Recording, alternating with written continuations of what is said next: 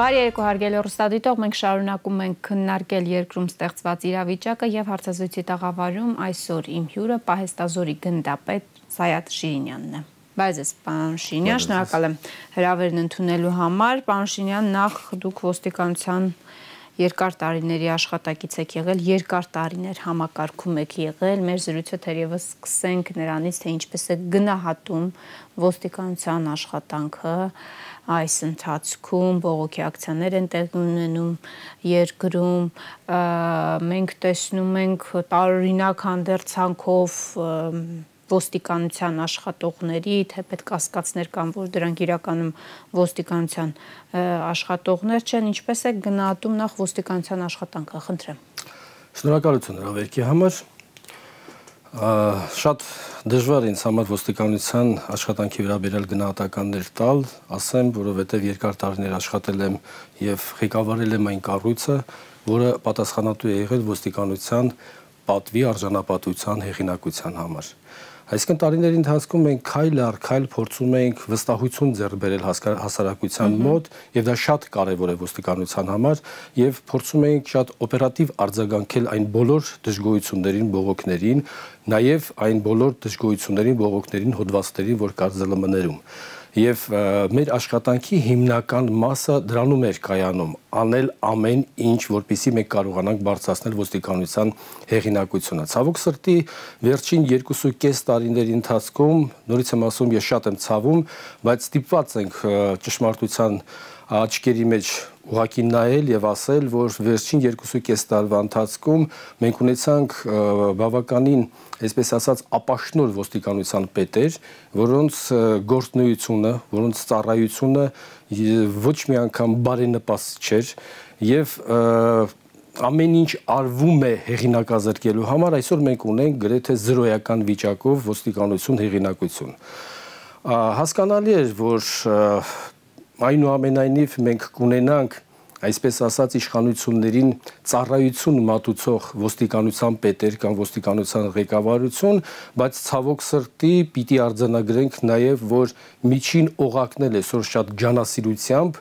աշխատանքներ են տանում այդ ուղությամբ բացասական իմաստով եւ շատ կոշտ բիրտ ուժեր են կիրառվում մեր հասարակության նկատմամբ։ Ինչ վերաբերում է նաև այդ համազգեստ համազգեստին, նինջայի կերպարանքով։ Ես արդեն առիթ ունեցել եմ դրա մասին խոսելու եւ ավելորդ չեմ եք անգամ եւս հիշատակել, որ ոստիկանության ծառայության մասին օրենքի 27-րդ հոդվածը հստակ ինքը բացատրությունն է կանոնակարգում է թե կրթահամալիրի ուսանողներին եւ ոստիկանության ծառայողներին ինչ համազգեստ տրվելու կարգը եւ ընդ որում համազգեստի նկարագիրը սահմանվում է կառավարության որոշմամբ։ Եթե մենք նայում ենք կառավարության որոշմամբ, հետեւաբար այդպիսի համազգեստ գոյություն չունի։ Գնումներում չկա։ Բացարձակապես, բացարձակապես անհեթեթ են այն պնդումները ոստիկանության, ես չգիտեմ, որ ծառայությունն այդպիսի անհեթեթ parzabanum տվել, թե բերել էին, եթե չեմ սխալվում, Չինաստանից, ուղակի, քանի որ ոստիկանության զորքերը մասնակցել են մարտական գործողություններին, նրանց համազգեստը պիտանի չի եղել, ստիպված են եղել ինչ որ այդպիսի համազգեստ, նինձայի համազգեստ, համազգեստ հագցնել ոստիկանության ծառայողներին։ Նախ առաջինը դա բացարձակապես ապօրինություն էր եւ ուղակի փորձառու ոստիկանները երկար երկար տարիների աշխատած մարդիկ զգային նրանց գործողությունների ոչ համաչափությունը եւ ընդ որում ոչ պրոֆեսիոնալ մոտեցումը։ Հստակ պահվածքը եւ պահվածքը եւ դուք կնկատեք այնտեղ երբ որ բռնի ուժով նստացնում են մեքենա, այսինքն մեքենա նստացնելու ժամանակ էլ, հա ոստիկանության ծառայողները թե նկատել եք ուղակի գլխից բռնում են, հա նստիչեցնում են։ Իսկ սրանք ուղակի նետում էին դեպի մեքենան։ Սա փոքրիկ դետալ է, դե փոքրիկ դետալ է, բայց միևնույն ժամանակ շատ ճիշտ նաև նկատել էին, որ այդ համազգեստի տակ, դիմակների տակ նաև կան այսպես ասած մորուքավորներ։ Իսկ ոստիկանները սափրվում են։ Իհարկե սափրվում են։ Կար այդպիսի ոստիկանության ծառայող, փնտրեք մի հատ, ասենք ձեր աչքին աչքի առաջ որևէ մեկին տեսել եք եւ բացի դա, այդ անհեթեթությունը մեկ անգամ եւս հիմնավորվում է դրանում, որ չէ որ ազատության հրապարակում, երբ որ տեղի են ունենում այս ցույցերը, ցույցերի ժամանակ ոստիկանության ծառայողներ կային ոստիկանության համազգեստով։ Բարի լինեիք այն մարդիկ, ովքեր որ ունեին ոստիկանության համազգեստ, այդ մարդկանց ներգրավեիք ծառայության մեջ։ Ինչ եք ներգրավել մարդկանց, ովքեր որ համազգեստ չունեն։ Ուղղակի դա անհեթեթություն է, ես ասել եմ ոստիկանության աշխատողները Ես վստահ եմ, որ ոստիկանության տեղեկություն է, որ օլիգարխների, թիկնապաններից են լինել օլիգարխների, կարող են լինել, չգիտեմ, փողոցային ինչ-որ թափթփուկներ, կարող են լինել, ասենք, ոստիկանության, ասենք, ինչ-որ, չգիտեմ, խուժան, հա, որին բերել են մասնակից են դարձնել, դրա համար, եթե մենք ունենք դատախազություն, դատախազությունը անմիջապես պիտի նյութեր նախապատրաստել, քրեական գործ պիտի հարուցել եւ ապահովեին իհարկե պիտի պիտի նախ առաջինը parzabanեին, այս ամբողջը օբյեկտիվ քննության, լրիվություն, ամբողջություն, օբյեկտիվություն ապահովել, դրանից հետո արդեն པարզ կդառնա թե դրանք ովքեր էին ես ուղղակի զարմացած եմ եւ որևէ ակնկալիք անգամ չունեմ որ մեր դատախազությունը կարող է տեղի տալ եւ գնալ այդ քայլին քրական գործ հարուցելու, որովհետեւ մենք այս տարիների ընթացքում հասկացել ենք, որ նաեւ եւ դատախազությունը եւ բոլոր բոլոր ուժային կառույցները ուղղակի ծառայում են, ծառայամտորեն ծառայում են օրվա իշխանություններին։ Բայց կարող են իշխանությունները իշխանություններն էլ հակադարձել, որ միշտ էլ ոստիկանությունը եւ բանակը ծառայեցվել է իշխանությունների շահերին։ Գիտեք, այսպես թե այնպես, քանի որ ոստիկանությունը ծառայելով, պաշտպանելով օրենքը, ծառայում է եւ ժողովրդին եւ իշխանություններին։ Ես չեմ խոսում ծառայությունը իշխանություններին, ես ծառայամտորեն ծառայության մասին եմ խոսում, որը ինքի իր մեջ պարունակում է նաեւ իրավունքների սահմանազանցում։ իրավազանցում, այստեղ այստեղ բավականին լուրջ, գիտեք, ոստիկանությունը այսօր ոչ թե կառավարվում է, այլ ապրիորի աշխատում է օրվա խնդիրներն այսօր ինչ է, ինչն է, ինչն է առաջնահերթ։ Կառավարությունը պետք է պահենք, վազենք գնանք կառավարությունը պահենք։ Ոչ մի հիմնական իր գործառույթներից կտրված է ոստիկանությունը։ Հիմնակ ոստիկանության հիմնական գործառույթները հանցագործությունների կանխարգելումը պիտի լինի։ Դրա համար հանցագործությունները հանցագործությունների աճ են։ Այսօր դրա դրա մասին դրա մասին կարծեք թե բոլորը մոռացել են։ Ինչ եք մոռացել ձեր հիմնական գործառույթը։ Հանցագործությունների բանցավորության դեմ պայքարը պիտի լինի, հանցագործությունների կանխարգելումը պիտի լինի, ձեր միակ նպատակը այսօր ամեն գնով, ամեն ինչ անել, որ միցի մենք կարողանանք բռնանալ ժողովրդի այս ցասմանը։ Եվ երբ որ խոսքը գնում էր նաև ժողովրդին, որ ասեցինք, հա մի քանի օր առաջ, այսպես ասած, վարչապետի պաշտոնը բռնազավթած կամ պատահաբար հայտնված այդ անձը ասում էր, տեսնում եք, որ հասարակությունը չգնաց կուսակցությունների կոչերին եւ հասարակական մեծ ինչ որ ընդվզումներ տեղի չունեցան բայց այսօր էլ կրկնեց այո բայց այդ անձը դարձալ մոլորության մեջ է դարձալ պիտի կոչանենք այդ անձին որ Facebook-յան իրենց հա տենց կեղծ օկտատերերի այդ գրառումներից ինքը դուրս գա իրականություն դերբի իրական դեպի կյանք ինքը հասկանա որ այսօր հասարակությունը իսկապես շոկի մեջ է այսօր մենք բազում խնդիրներ ունենք գերեվարվածներ մենք ունենք անհայտ կորածներ Եվ եթե մենք տարիների ընթացքում այս 2.5 տարվա ընթացքում մենք միշտ բարձրաձայնում ենք, որ այս իշխանությունները ապիկար են, ապաշնոր են, իրենք ի վերջո բերելու են հասցնելու են այս վիճակին, նաև հողերը հանձնելու, տալու, հանցավոր անգործության կամ դավաճանության ճանապարհով, ես չգիտեմ։ Այնուամենայնիվ սրա համար էլ վաղը մյուսով պետք է պատասխան տան բայց պիտի հասկանանք, որ մենք շոկային վիճակում ենք։ Անկամ մենք, որ երբ որ խոսում էինք դրա մասին, բայց դարձյալ մենք ասում ենք լավ, ապիկար, ապաշնոր, բայց այս աստիճանի, երբ որ դու պատմական Արցախի հողերը տվեցիր։ Չէ որ դու ունեիր, երբ որ ինքը խոսում էր պատերազմը կանգնեցնելու եւ հազարավոր կյանքեր փրկելու մասին, բայց ներողություն Դրա մասին խոսեց նաև Ռուսաստանի Դաշնության նախագահը եւ հստակ ասեց, որ ամսի 18-ին եւ 19-ին օկտեմբերի առաջարկվել է ընդ որում համաձայնություն է ձեռք բերել Ադրբեջանի նախագահի հետ, որ հնարավոր էր պատերազմը կանգնեցնել։ Նիկոլ Փաշինյանը մերժել է։ Մերժել է ի զարմանս, ինչպես ասեց Ռուսաստանի Դաշնության նախագահան, ի զարմանս իրեն Նիկոլ Փաշինյանը մերժել է։ Բա Փաշինյան Նիկոլ խոսի դրա մասին։ Եթե դու իսկապես կողմնորոշվեիր, եթե քո հանցավոր չէր մտադրությունը, եթե դու իսկապես դիլետանտ ես եւ չես կարողացել կողմնորոշվել, Միգուցե դրա մասին խոսես, ասես, գիտեք, ժողովուրդ, ես այնուամենայնիվ եթե ամսի 18-ին 19-ին կանգնեցնեինք պատերազմը, մենք չէինք ունենա գերեվարվածներ, չէինք ունենա այսքան անհայտ կորածներ, Եվ մի մոռացեք, մենք հազարավոր կորուստներ ենք ունեցել, եթե բաժանեք այդ օրերի վրա, դուք կտեսնեք, որ եթե ամսի 18-ին 19-ին կանգնեցներ պատերազմը, մենք ըստ էության մի քանի հազար, հա, երկուսից ավել հազար մենք մահացածներ չէինք ունենա եւ արդեն չգիտենք էլ ինչքան են այդ ժամանակահատվածում գերեվարվել։ Բայց հիմա այնպես է ներկայացնում, որ այդ կապիտուլյացիոն ակտը, այդ խայտարակ կապիտուլյացիոն ակտը ստորագրելով ինքը լավություն է արել, ասում է 25000 զինվորի կյանք են փրկել, որպես լավություն է վաճառում իրեն կորցրած ժողովրդի վրա ստեյության մարդկանց ովքեր դեռ ворթիներ ունեն բանակում, վիրավորներ ունեն ըստեյության, դե- այսինքն էմոցիաների վրա է խաղում եւ էմոցիաները շարունակում գողանալ։ Դե ինքը, քանի որ պրոֆեսիոնալ ստախոս է եւ մանիպուլյացիաների բացարձակ գերիշխում է նրա մոտ, բնականաբար ինքը չի ասում թե ինչի մենք եկանք հասանք ստեղ Ինչի մենք հասանք այն վիճակին, երբ որ պարտադրված էր արդեն կապիտալացիոն այդ փաստաթուղթը ստորագրելու։ Մի քիչ հետ գնացեք։ Եթե դուք ուզում եք այդ պատճառը հետևանքային կապը հասկանալ, ուրեմն մենք պիտի գնանք մի քիչ ավելի հետ եւ հասկանանք, որ սրա համար բավականին լուրջ հիմքեր էր ստեղծվել։ Սևերի սպիտակների բաժանելը, հասարակությունը տարանջատելը, ներկաների եւ նախորդների, նախորդների լափածների եւ չլափածների, ինչ որ ինչ որ կեղծ օրակարգ էր ինքը առաջ բերում եւ այդ կեղծ օրակարգը ցավոք սրտի մեր հա-, հասարակությունը այդ խայծը մշտապես կուլ է տվել։ Հիմա եթե այդպես էր ինձ հարց է առաջանում Եթե ազնիվ էր դու քո մտադրությունների մեջ, եթե դու իսկապես պատերազմի մեջ էր մտել եւ դու ուզում էիր հաղթական ավարտ, Այդ դեպքում ինձ կարող ես բացատրել ինչ է նշանակում սեպտեմբերի 27-ին էր, եթե չեմ սխալվում, ազգային ժողովում, երբ որ ինքը հանդես եկավ եւ ասեց եկեք պայմանավորվենք առանց անկախ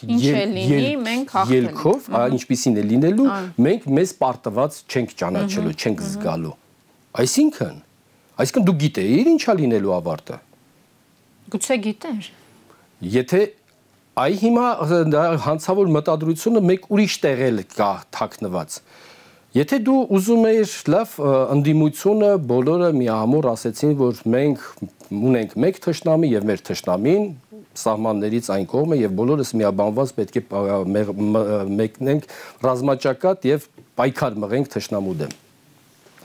Հարցը առաջանում այդ փառահեղ հերոսական ճանապարհ անցած գեներալներին, որ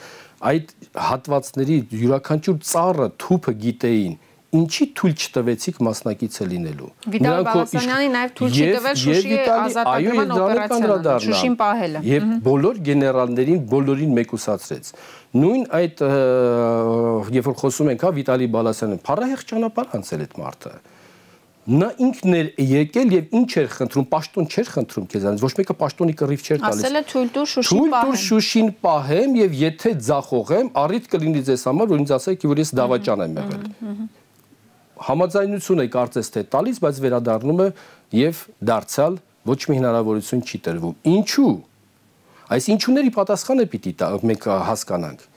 Եվ այսօր դարձալ դու մանիպուլյացիաների ես գնում, այսօր չէ երևի եթեր էր մտել նորից ինչ որ Արյան ծովերից էր խոսում, Արյան ծովերից ես խոսում, նախկիններից էր խոսում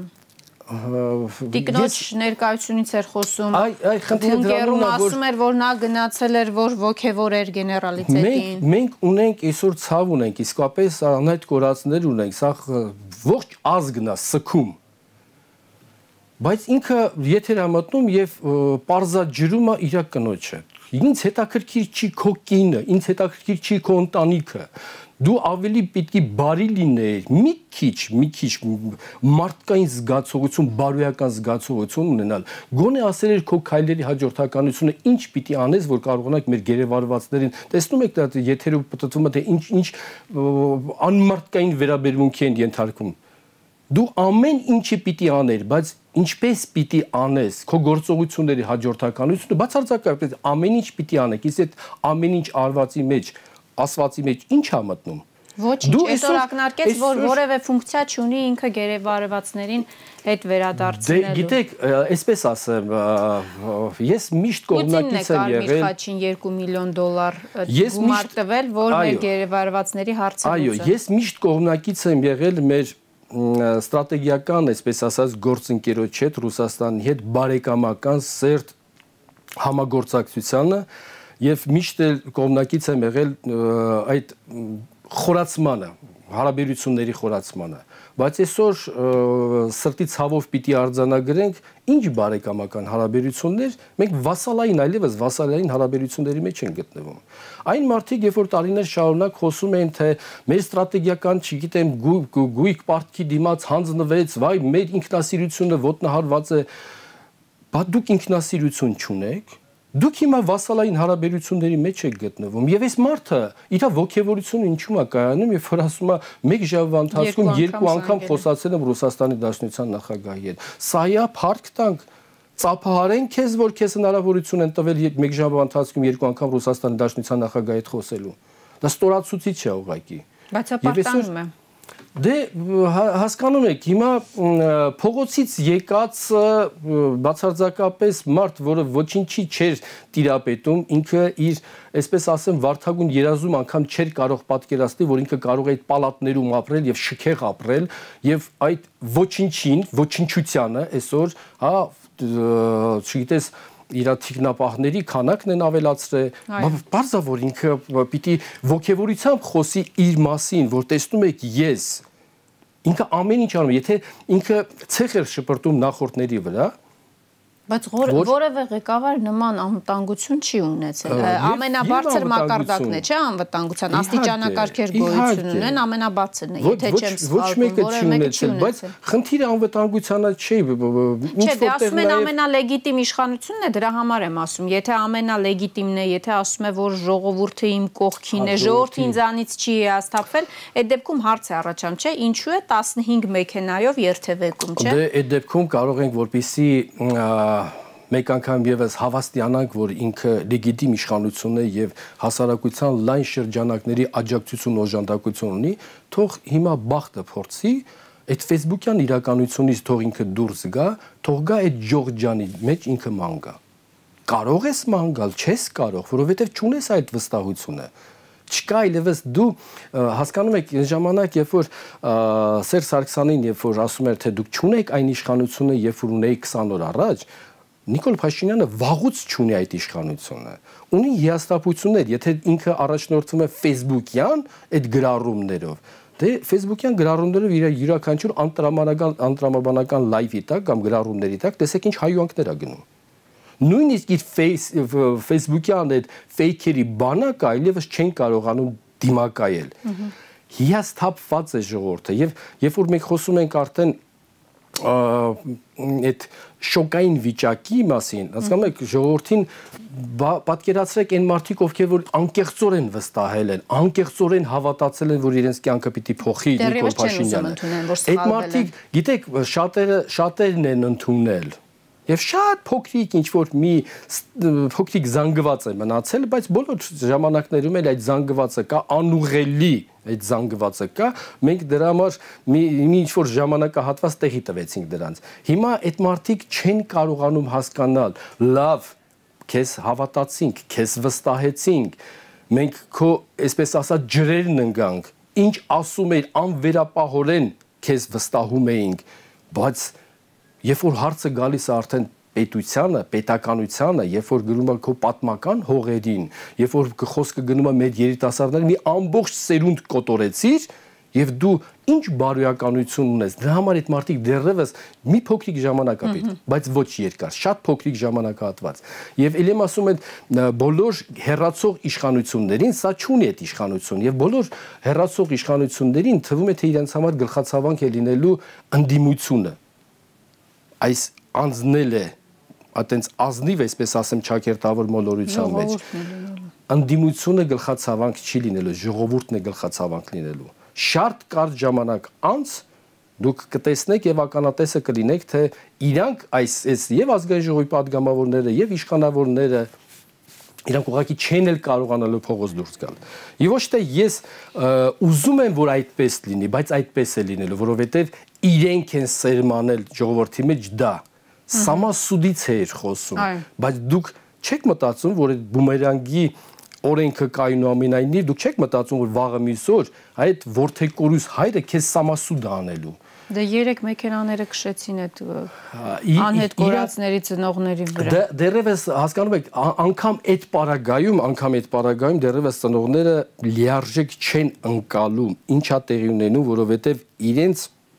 խնդիրը, միակ նպատակը, անգամ դուք պատկերացրեք մենք ինչ վիճակի մեջ ենք հայտնվել, երբ որ ծնողն ասում է տղուս հա երեխայից հա դիակը վերադարձրեք։ Պատկերացրեք ինչ ցավ կա իր հոգու մեջ։ Իսկ Նիկոլ Փաշինյանը դուրս է գալիս եթերի, ասում է կինս որ գնացել է, ինչ արէ կինդ որ գնացել է էրատո է կոչվում ինչ այսինքն ամեն անգամ վարկաբեկել հայ տղամարդուն հասկանում եմ որ դու այդ դու ինքդ քո ընտանիքում այդ տղամարդկային են արժանինքները եւ արժեքը չես ունեցել դե բնականաբար այդ խնդիրը դու այդ կոմպլեքսները քո մեջ կա դու ինքդ չես կարողանում հասկանալ թե ինչպիսին կարող է լինել հայ տղամարդ հայ տղամարդը մարտնչող է եղել հայ տղամարդը կռվող է եղել բոլոր իրավիճակներում ինքը փորձում է գնացել է դուխտա գեներալներին բունկերում Մովսես Հակոբյանը մի շարք բացահայտումներ արեց պարոն Շիրինյան երրորդ օրը փաստորեն համալրումը Նիկոլ Փաշինյանը դադարեցրել է եւ շեշտը դրել է կամավորականների վրա, իսկ կամավորականները ուզեն կգնան, ուզեն չգնա։ Ի վերջո բարի ցակումնաբանությունն արդեն ամեն ինչ ասում է կամա ոչ խոսեց զենքերի մասին, որը երկրորդական պլան է մղվել, անպիտան զենքերի մասին, անպիտան գնումների մասին, սու 30-ների մասին, որոնք քրթիրներ չունեն փաստորեն։ Մենք պատերազմի օրերին էլ գիտեինք դրա մասին, բայց լռում էինք, որովհետև երկրում ռազմական դրություններ, որը էլի շարունակվում է, դեպ դրան էլ կանդրադառնանք ասահականների մասին, որ դրանք հնարավոր չէ ըստեյության վերականգնել հորդանանից գնված ինչ հետևություններ սրանից պետք է սրան ինչ պետք է շարունակի հասկանալի է գեներալ գնդապետ Մովսես Հակոբյանը շատ պատվախնդիր զինվորական է եւ ինքը շատ լուրջ բացահայտումներ արեց ըստ էության բայց ես կարծում եմ որ մենք ելի Թերևս ունենք պատվախնդիր զինվորականներ, գեներալներ, որ առաջիկայում կարծում եմ իրենք պիտի խոսեն, պիտի parzabanեն։ Ինչ է վերաբերում, տեսեք, լրա համալրման մասին, որ ասեց գեներալ գնդապետը, մի կողմից դուք կոչ եք անում ասում եք եկեք վտանգված է մեր հայրենիքը հիշում եք ավտոբուսներով բոլորը ողքեվորված երկով պարով գնում էին հայրենիքը պաշտպանելու բարձվում է որ թիկունքից արդեն իսկ հանձնարարական եղել դրա համալրումը կասեցնելու ինչը հանցագործություն է չէ միանշանակ հանցագործություն է այլ բան չի կարող որովհետև հասարակությունը ապշած էր ոնց կարելի է զինկոմիսարիատներից կանչում են, ցանոթագրերը տալիս են, մեկ անգամ եւս զանգում են, ճշտում են, դուք տեղում եք, տեղում եք, որտեղ կլինեք, հեռախոս համար կոնտակտներ ամեն ինչը ճշտում են, բայց դրանից հետո բացարձակապես որևէ մեկը չէր կանչում։ Ու անհասկանալի վիճակը, բայց այնտեղ հայրենիքը վտանգված է, կոչեր են հնչում այս իշխանությունը բռնազավթացի շուրթերից Արեիկ ժպիտով, հա, ասենք, ասենք ժպիտով Արեիկ Հարությունյանը ասում էր հաղթելու ենք, բայց վտանգված է հայրենիքը, եկեք, բայց մյուս կողմից էլ որևէ մեկին չեն տանում, բայց հանցագործություն չի։ Իդեպ չանրադրացավ այսօր այդ դրվագին չի ինքը գիտեք որ Նիկոլ Փաշինյանը տարիներ շարունակ այս տարիների ընթացքում բարբերաբար ինքը փորձել է օրակարգ փոխել կեղծ օրակարգ է շպրտում հասարակությանը եւ հասարակությունը դարձալ այդ խայծը ուտում է ինչ պիտի ասեր ինչ պիտի ասեր այսօր մտել ես լայվ ինչից ես խոսում ինչ խոճապից ես խոսում, այդ խոճապը դուք եք առաջացրել այնտեղ։ Ինչի են, երբ որ գնում էին կամավորները գնում էին հասնում էին Ստեփանակերտ, բայց առաջնագից չէին կարողանում գնալ։ Ինչու ով պիտի կազմակերպեր։ Մարդիկ մնում էին, մի քանի օր մնում էին, մի շաբաթով մարդիկ մնացել են, անտերության են մատնված եղել, ստիփած են եղել վերադառնալու։ Ա Բացարձակապես դուք բա չէ որ դուք խոսում եք, ասում եք Արայիկ Հարությունյանն էլ էր ասում դրա մասին, որ օդը պաշտպանված է, դրա բացահայտումները Մովսես Հակոբյանն արեց գեներալ գնդապետը օդը ավելի քան երբևիցե պաշտպանված է ոչ միայն Ստեփանակերտի, այլ Արցախի Բա ինչ եղավ։ Ասականից ձգվերման ժամանակ էլ էր ասվում, որ օդը այլևս պաշտպանված է։ Այլևս պաշտպանված է, այո։ Այո, նորից դարձալ ցեխեր շփորտում նախորդներին, որովհետև հակաօթային պաշտպանության ոչ մի միջոցներ չենք ունեցել, սա են գնել, նա են գնել, բա ինչ եղան, բա ինչի էր օդը տան պաշտպան։ Բա ինչի եթե դու տեսնում ես որ երեխաները կոտորվում են այնտեղ 18-20 տարեկան երեխաները կոտորվում են այնտեղ, բա ինչի հապաղում, ինչի չէ Ռուսաստանի Դաշնության նախագահին քո ստրատեգիական գործընկերոջ, ինչի չէ դիմում որոշակի օգնության։ Այդ օգնությունը եկավ եւ ընդ որում դարձալ Մովսես Հակոբյանը արդարացիորեն ասաց, որ Ռուսաստանի Դաշնությունը իր խղճի համաձայն ոչ զինամթերքը հնարավորինս ինքը տրամադրել է բայց այլ բան է թե դուք ինչքանով եք պատրաստ եղել պատերազմին դու պատրաստ չես եղել, այսինքն այն ուղակի պոպուլիստական հայտարարությունները հանգիստ նստեք ձեր տեղը իմ հրամանատարական, այսինքն կարողությունների որևէ մեկը չկասկածի, հիմա ոնց ասեմ, տղա ջան, դու ընդհանրապես ասենքան դեղին մամուլի կիսակ գրագետ լրագրող ես եղել։ Դու որտեղ, զինվորականությունը որտեղ։ Խոսում եք դրա մասին, որևէ մեկը չի ասում, լավ, 25 օր Տիկինդ ինչ էր անում Արցախում։ Ինչ գործ ուներ ստրատեգիական այդ քարտեզի մոտ։ Ինչ գործ ուներ։ Մխիթարում էր գեներալներին սա ծիծաղելը եւ այնպես չի որ մի անգամ այնքը հայտնվել այդ բունկերում։ Մյուսներն էլ ներկա խոսեն։ Ինչ էր անում այնտեղ։ Դուխ էր տալիս։ Կամ այո, կամ դուխ դե մենք տեսանք էլի դուխավորված ժողովրդին տեսանք տեսանք թե ինչքան այսինքն նորից էլի մտել է արդեն էլի նորից լեկտիաբար հպարտ քաղաքացիներ այդ հպարտ քաղաքացիների շատերի հետ որ խոսում են ասում են 20 տարի ես նսեմացած եմ եղել ստորացած եմ եղել ես բռնաբարված եմ եղել լսեք դուք ստորացած նսեմացած եւ բռնաբարված եք եղել դուք չեք կարող մեկ օրվա ընթացքում դառնալ հպարտ քաղաքացի եթե դա ճշմարտությունն եք ուզում իմանալ ես ինձ նախորդները որևէ մեկը չի կարողացել նսեմացնել ստորացնել եւ առավել եւս ներկաները չեն կարող։ Հա, բերում ես, ահա ծն եկավ, խոզարկություն արեց, բերման ենթարկեցին։ Այո, որպես կասկածալ, հայ լեգենդար հրամանատար Աշոտ Մինասյանի այսպես ասած այդ կարմիր թելով կարած քրական գործով ես էլ որպես կասկածալ եմ ասնում մեր եւ այսպես ասած ես 2010 թվականից արդեն ոստիկանության համակարգում չեմ պաշտոն չեմ զբաղեցնում շատերը ինչ են ասում ասում են բանա հա պաշտոնից Նիկոլ Նեկավ պաշտոնից ազատեց հիմա այտենց վրթովված վիրավորված խոսում է ժողովուրդ ես 2010 թվականից պաշտոն չեմ զբաղեցնում Դինից հետաքրքիր չի ցանկացած պաշտոն։ Ես այսօր սովորական քաղաքացի քաղաքացի եմ։ Եվ երբ որ խոսում են նախորդների մասին, ես միտքս շարունակեմ, հա,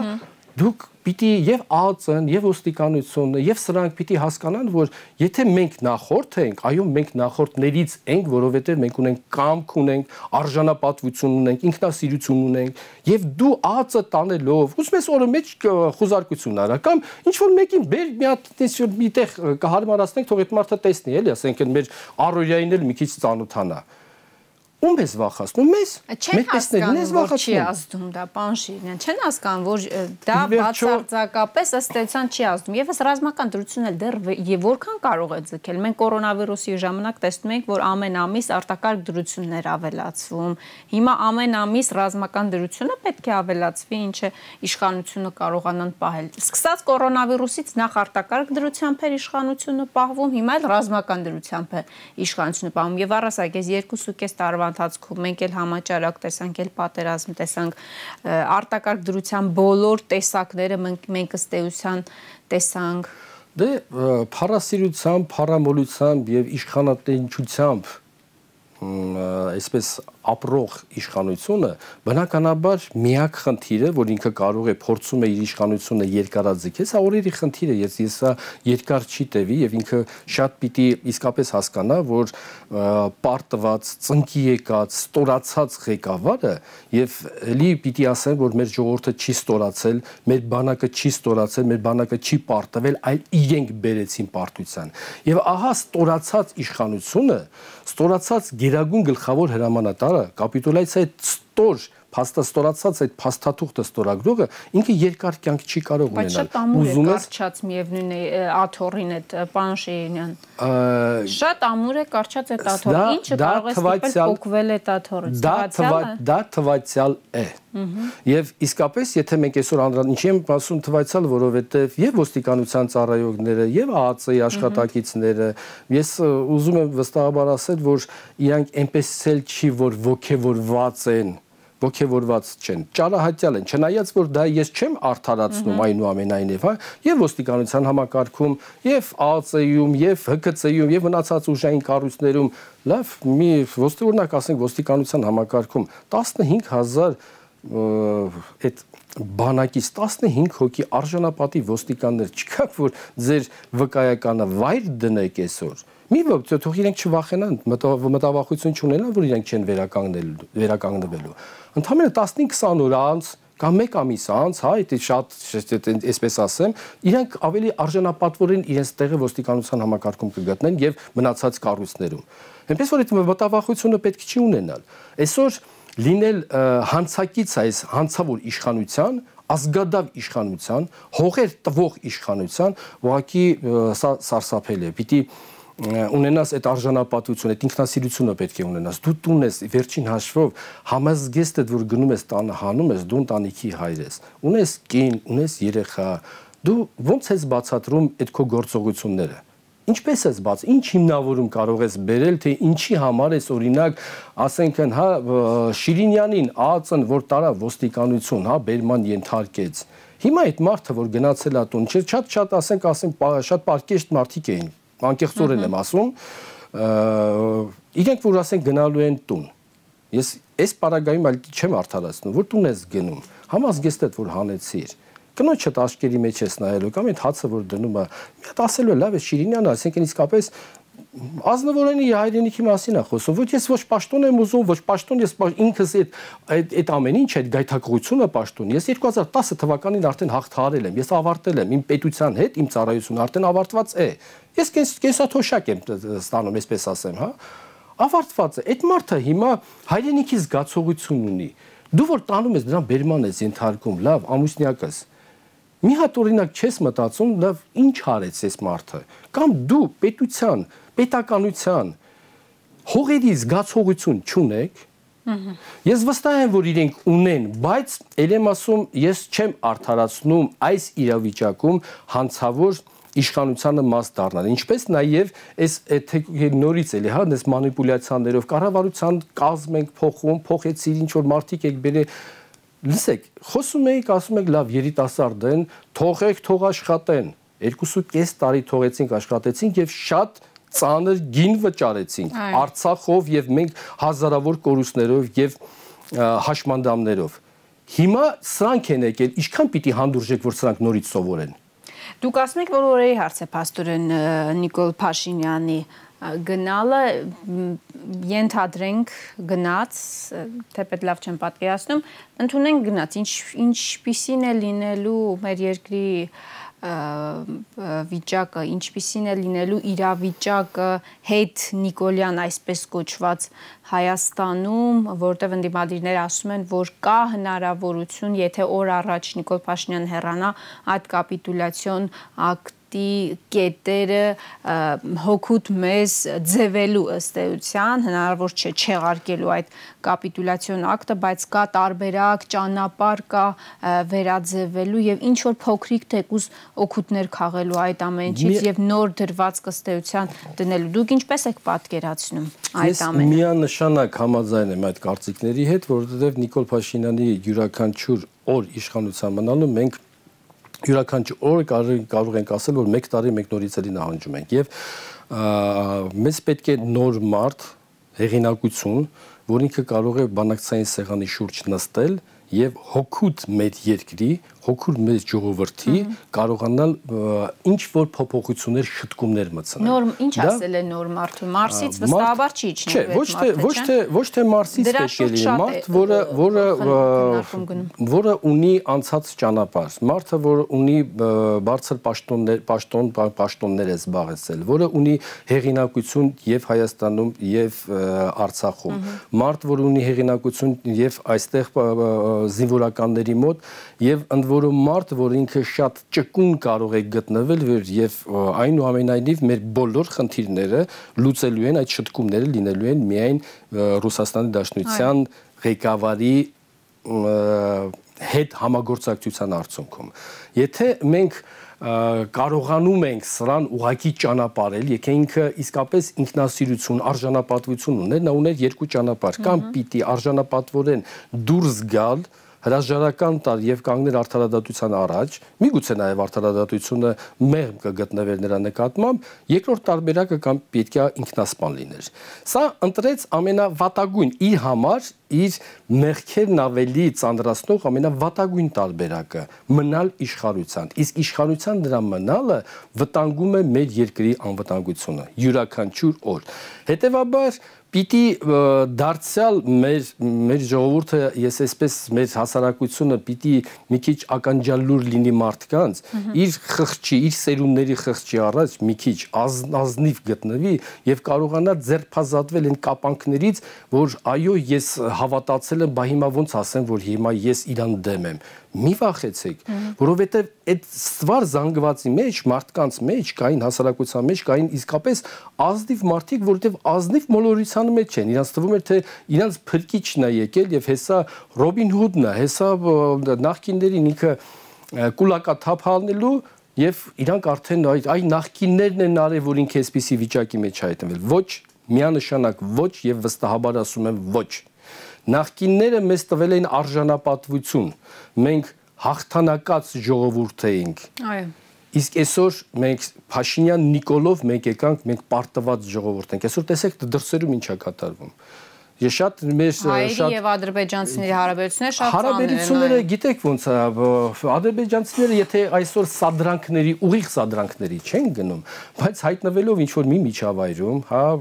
թեկուս ռեստորանում, կողքի սեղանին նստած իրենք շատ անպատվաբեր արտահայտություններ են անում հայերի այս ժամանակահատվածում մեր զինվորականների, մեր ընդհանրապես եւ ինչ ամնում իրենց անել, կամ պիտի ուղակի ձեռնամատի մեջ մտնեն, կամ պիտի ուղակի սուսուփուս գլխիկոր այդտեղից հեռանան։ Մենք հիմա դարձանք այդ այդպիսի ազգ դարձանք, այդպիսի ժողովուրդ դարձանք։ Մենք պարտված ենք, հիմա պիտի լինի մարդ, որ ինքը կարողանա այս այս հոգեբանական այս ծանր վիճակից մեզ հանել։ Պարտվածի։ Պարտվածի հոգեբանությունից մենք պիտի կարողանանք հաղթարել, մենք դուրս գանք, որովհետև վաղվա հույսը, հավատը, եթե ինքը ինչ որ ծաղրեր է կազմում անհեթեթ 6 ամսվա,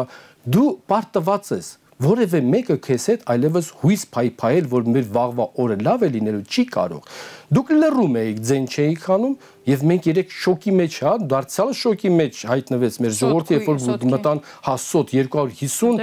զինվորականներ։ Այսօր արդարացեց, ասում է, բայ այդպես պետք է լիներ։ Դե իրանք չհետևենք իր անհեթեթ արդարացումներին, որովհետեւ եթե մինչ այդ հասարակության ստվար զանգվածն էր այդ խայծը կուլ տալիս, հիմա շատ շատերը ուղակի երես են թեկում, ուղակի զզվանքով են արդեն արտահայտվում իր հասեին։ Եվ Նաև ակնարկ կար, որ այդպիսի հա տենց խնդիրների առաջ կարող ենք վաղը մյուսօր դարձյալ կանգնել։ Այո, կանգնելու ենք Վաղը երբ որ ասում ենք մարդկանց, որ Գորիս կապան տանող ճանապարհը անմիջապես անցնում է Ադրբեջանի սահմանը, ով է ապահովելու անվտանգությունը։ Մենք փաստորեն կտրվում ենք Գորիսը կապանից եւ մնացած Սունիքից, հա, ասենք, մնացած հատվածներից կտրվում է։ Ով է ապահովելու անվտանգությունը։ Դարձյալ պիտի ասենք, նենց ողջևորված, հա, ինքը ասի, որ այսօր երկու անգամ, երեք անգամ Ռուսաստանի Դաշնության նախագահի հետ եմ խոսել։ Եթե դուք որևէ լիազորություններ չունեք, իրավասություններ չունեք այլևս, ինչի եք մնացել։ Ուզում եք միաբանվենք, միաբանվենք։ Մտիր լայվ ասա, որ նախկինները այդ կեղծ օրակարգ էր, ժողովուրդ, մի հավատացեք այդ կեղծ օրակարգին, որ ես իրանք ասում եմ, որ իրանք լափել են, իրականում չեն լափել, որովհետև այսօր մենք չունենք որևէ քրեական գործ, որը դատական հասելը դատական հանգուցալուծման։ Չունենք։ Խոսում եք հա մեր մեզ մեզ վաղվա օրվա նկատմամբ հույս հավատ ներշնչած նախագահին ես դու դատապարտում մարտի 1-ի մաս մարտի 1 եք շահարկում Եվ ես զարմանում եմ նաև մեր ոստիկանության ծառայողներին, ասեմ, դուք ուղղակի այդքան կարճ հիշողություն ունեք։ Մոռացել եք մարտի 1 նով սադրեց։ Մոռացել եք, որ Նիկոլ Փաշինյանն էր իր կոչերով էին ձեզ ծեծում, մեզ բոլորից, ես այն ժամանակ աշխատում էի մեր ոստիկաններին ինչ տարբերություն։ Զողեր վերցնելու կոչեր, մահակներ վերցրեք, հա։ Ծեծում էին, ջարդում էին, երկու մեկ զոհ ունեցանք։ Ով սադրեց եւ նրա հոգին փառավորվում էր։ Հիմա դու ինչպես կարող ես բարեխղճորեն ծառայել մեկին, որը սադրել է քեզ ծեծել, ջարդել, սպանել։ Մարտի 1-ի զոհերի արունն էլ է Նիկոլ Փաշինյանի նրա ընտանիքի վրա։ Նրա ընտանիքի, որովհետև այսպիսի մի օրենք կա, միգուցե նաև օրենք կամ ասացված, չգիտեմ, մի արա մի բան, որի համար քո սերունդները պատասխան են տալու։ Սա ինձ համար կյանքի սկզբունք է նաև։ Նիկոլ, դու անում ես բաներ, որ նզովյալ ես լինելու ոչ միայն դու, այլ նզովյալը լինելու նաև քո ընտանիքի անդամները, քո սերունդը նզովյալ լինելու։ Եվ մենք հետո ասում ենք, հա դից պահիտակ ես հիշեցի, հիշում եք հուլիսյան դեպքերը, երբ որ մենք կորուստներ ունեինք արդեն եւ Նիկոլ Փաշինյանը երևելի հարփած վիճակում, այտենց անհավասարակշիռ հոգեկան այդ խանգարման վիճակում եթեր էր ուղիղ եթեր էր մտել եւ իր այն փոքրիկին, հա, չեմ էլ ուզում ոչ անունն եմ ուզում տան, ոչ էլ արդեն ինձ այդքան դրել էր իմ անունն է հայկական բանակ եւ երեխան տրջիկ էր տալիս եւ այնտեղ ողքեվորություն սենց հա տենց տեսեք դուք չեք հասկանում տողատակերը սա լուրջ մեսիջներ է ուղարկում մեր վարչապետը ծիծաղելի է ժողովուրդ այդ ծիծաղելի վիճակից մենք արդեն պետքա դուրս գանք մենք պիտի վերջին հաշվով չլինենք ամբող պիտի լինենք ժողովուրդ պիտի լինենք ազգ Իսկ այս մարդը մեզ անընդհատ տանում է դեպի ամբողջավարություն։ Ինքը անելիք չունի, ինքը սպառված է վաղուց, որտեվ երբ որ դու չգիտես քո գործողությունների հաջորդականությունը, հետեւաբար ինչ պիտի անես, պիտի գնաս բռնություններ։ 2.5 տարի մենք լսում ենք ԱԱՑ եւ ոստիկանություն։ Չունենք դի հասկանում եք երկիրը առաջ տանելու հիմնական 4 բաղադրիչներ կային՝ ներքին արտաքին քաղաքականություն, տնտեսական քաղաքականություն եւ կադրային քաղաքականություն սկսենք կադրային քաղաքականությունից։ Փայլուն է իրականացվել կադրային քաղաքականությունը այն իմաստով, որ որևէ տեղ պատահական մարտիկ չեն նշանակվել։ Այսինքն, երբ որ յուրաքանչյուրի գործողությունները առանձին առանձին ես դիտարկում, ասում ես, լավ, այստեղ թերացել է, այստեղ այնպես չի արել, դա մի ինչպեսի դավաճանական ինչ-որ գործողություններ չի, բայց ընդհանուր համակցության մեջ, որ ես դիտարկում ես, տեսնում ես, որ այս շղթան իր տրամաբանական դավաճանական ավարտին հասնելու համար պատահական կադրեր որևէ տեղ չի նշանակվել։ Ուզում եմ Նաև ասենց ուղակի ասեմ պատահական կադրեր չեն եղել, ես ցավոք սրտի ճակերտավոր պատիվ եմ ունեցել աշխատելու նաև Պողոսյան Հունանի հետ, այսպես ասած գեներալ լեյտենանտ, որը Նիկոլ Փաշինյանի մի նախադասությամբ սրբադասվեց եւ նշանակվեց Սյունիքի մարզպետ, ուզում եմ իրան հարց տամ։ Պողոսյան Հունան Ինչ ժամանակ, երբ որ ոստիկանության պետի առաջի տեղակալ էր, Սերժ Սարգսյանի նկարը կախած էր, ասում էր՝ մեր թակավոր իր կյանքին մեռնեմ, ամեն ինչ մեկ պետք է անենք մատից փուշ անենք։ Հետո չգիտես ինչպես ստացվեց Պողոսյան Հունանը իր խոսքերն եմ ասում, որ իր հոգու խորքում միշտ էլ պատրաստ է եղել եւ կողմնակից է եղել այս փոփոխություններին։ Եվ հետո անամոթաբար Սունիքում կանգնել ես դմդմ հույես անում։ ուզում եմ հարց տամ այդ դմդմ հույի տակից Պողոսյան ունան դուրս չես եկել դուրս արի դրա տակից եթե դու այսօր ես ինչի եմ կոնկրետ ասում նախորդ անգամ ես Ֆելիս Սոլակյանին համար ասացի դուք վերջին հաշվով գեներալներ եք դուք համազգեստի պատվիվն ու արժանապատվությունը պիտի հասկանաք թե չհասկանաք ի վերջո Սա կադրային քաղաքականությունն է։ Տնտեսական քաղաքականությունը, ինչպես հասկանում եք, զրոյական վիճակում է մեր մոտ գտնվում, արեց տնտեսական հեղափոխություն եւ մեր ժողովուրդը տնտեսական հեղափոխության արդյունքները կերավ կշտացավ։ Ներքին քաղաքականությունը բացի ոստիկանությունից եւ ԱԱՑ-ից ուրիշ քաղաքականություն չկա։ Ծեփեք պատերին, փռեք ասֆալտին, ներդրումներից եմ խոսում, անամոթաբար նորից էր ինչ որ հավաքել էր մի քանի օկու հավաքել էր ինչ որ ներդրումներ, որ մի խելացի բիզնեսմենը, որ մի գիտակ մարդը ներդրումներ կանի։ Բազում անգամներ ինքը չի կարողանում հասկանալ, որ փողը լրություն է սիրում, բիզնեսը լրություն, կայունություն է սիրում չկա տապալված է ներքին քաղաքականությունը բացի ոստիկանությունից ԱՂՑ-ից այլ շրջանակներից երբևիցե դուրս չեկավ Արտաքին քաղաքականությունը Արտաքին քաղաքականությունը մենք ունեինք իրենք ամեն անգամ գոչում էին, որ մեր հարաբերությունները Ռուսաստանի Դաշնության հետ ավելին է, քան երբևիցե եղել է, բայց մենք արդեն ժամանակի ընթացքում համոզվեցինք, որ ոչ մի բացարձակապես փոխհարաբերություններ էլ անգամ չկային։ Մի մարդ, որ ընդամենը ողջևորվում է Ռուսաստանի Դաշնության նախագահի հետ երկու բառ խոսալուց, հա, եւ հետո վերջին հաշվով եւ Սալավյովը եւ Բաղդասարովը եւ մյուսները, մյուսները այդ մարդիկ մեկ պետք է հասկանան, որ պատահական մարդիկ չեն Եվ բազում անգամներ նրանք ասում են, եթե դու սորոսական ես, դու Սիմոնյանը, այո, դու ձգտում եք արևմուտք եք ձգտում, դուք ձգտում եք դեպի Ամերիկա, դե գնացեք թող իրանք էլ պաշտպանեն, այսինքն ակնհայտ էր, որ այստեղ համագործակցություն գոյություն չունի։ Վրաստանի հետ հարաբերությունները փչացրեցիք Մեր Իրան Իրանը մեզ մեզ երբե երբեմնի հա 90-ական թվականներին եւ շատ շատերը հիշում են, որ միակ հնարավոր ճանապարհն էր Իրանից, որ մենք կարողանում ենք երկիրը հնարավոր էր պահել։ Ինչի համար Իսրայելում դու դեսպանատուն բացեցիր։ Ինչի մեր գործընկերոջը ինչի վիրավորեցի, չէ՞ նոք դա ողերիմ թշնամիներ են։ Ինչ է ուզում դրանով պարզաբանել եւ բացահայտել։ Ում էր հասկացնում, ինչ է իր հասկացնում։ Եվ փչացնելով քո արտաքին բացարձակապես որևէ պատկերացնում եք 2.5 տարվա ընթացքում լինես պետության ղեկավար եւ որևէ երկիր պաշտոնական այցով չլինես